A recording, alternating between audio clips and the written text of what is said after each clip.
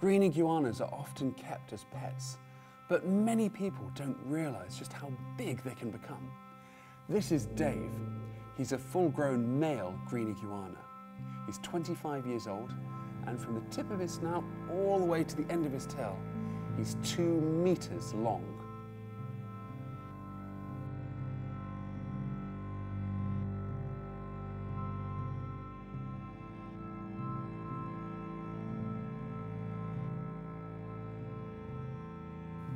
He's incredibly powerful. He's got sharp claws. If he climbs up you, they can scratch and scrape.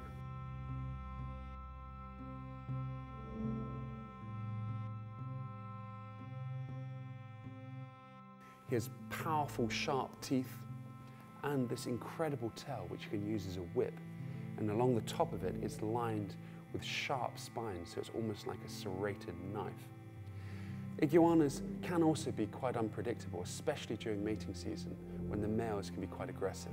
So this is definitely not a pet for beginners. Iguanas actually have a third eye. It's technically not an eye at all, but a light sensing organ that detects bright and dark conditions. And if I cover it up, he'll think it's nighttime and close his eyes.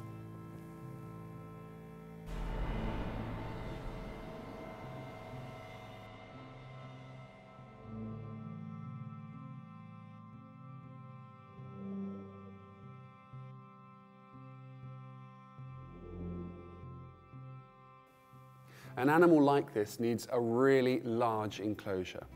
Dave would need a tank that's about three meters long by one meter wide at a minimum and about two meters tall.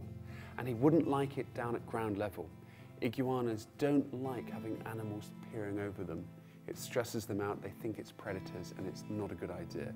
So he should be at, ideally at, at waist height on a bench or work area. He needs to be kept warm at about 30 to 32 degrees centigrade and he needs a heat lamp for basking. This will give an area that's in the high 30s where he can go and warm up when he needs to.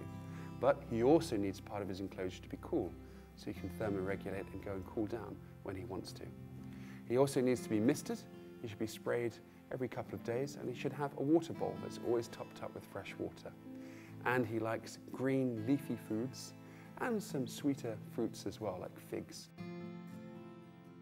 But remember, that green iguanas are not beginner's pets.